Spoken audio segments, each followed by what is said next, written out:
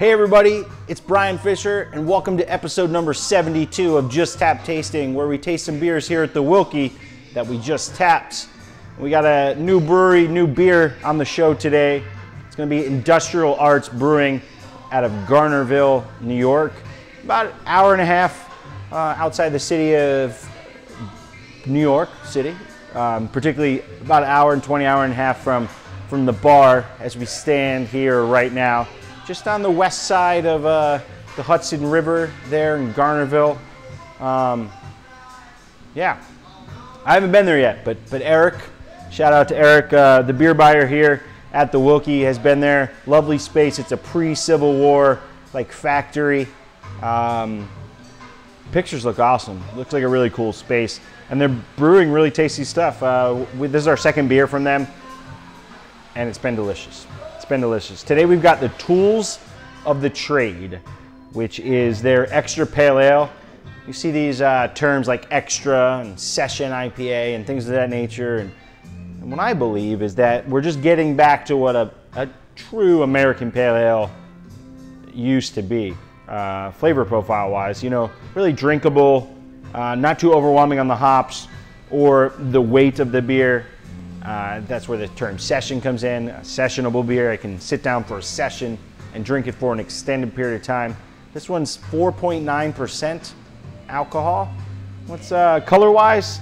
Really soft yellow uh, hue to it. Nice, nice frothy white head. Uh, just a good looking beer. Extra good looking for this extra pale ale. Let's go into the nose. I definitely get um, a bright, like hop aroma, like West Coast hop, like maybe Amarillo, Cascade, Simcoe kind of vibe. I'm really not sure what they're using here. I tried to do a little research, but they're new guys. Couldn't really find out the specific recipe of this one. But uh, you get, you definitely get like a bright, fresh, like uh, resiny, piney kind of nose with a little bit of like blue cheese for some reason. Maybe I just like really like blue cheese and I want to smell it because that's kind of weird. Let's give it a taste.